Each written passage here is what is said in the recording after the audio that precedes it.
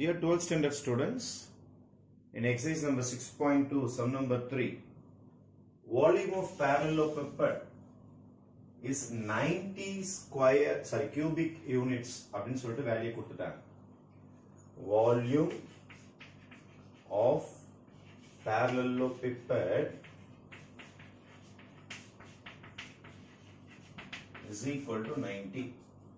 Volume of parallelepiped is given by the formula A vector, comma, B vector, comma, C vector. Right? Is equal to 90. Naturally நம்மளுடைய modulus வேற இங்க இருக்குது modulus வேற இருக்குது நமக்கு சரி ABC what is my ABC இருக்கு பாருங்க ஸ்கேலா ட்ரிபிள் ப்ராடக்ட்னாலே உங்களுக்கு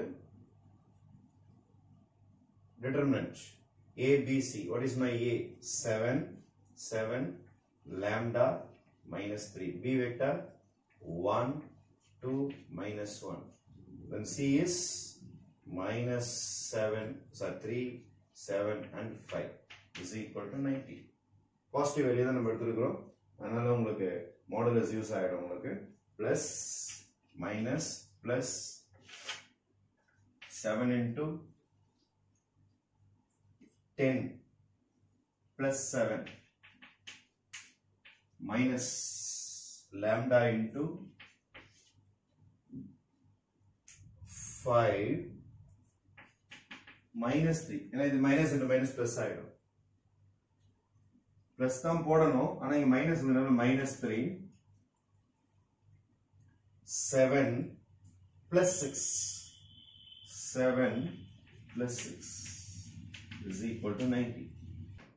7, this will become 17 minus lambda 2 minus 3 into 13 is equal to 90.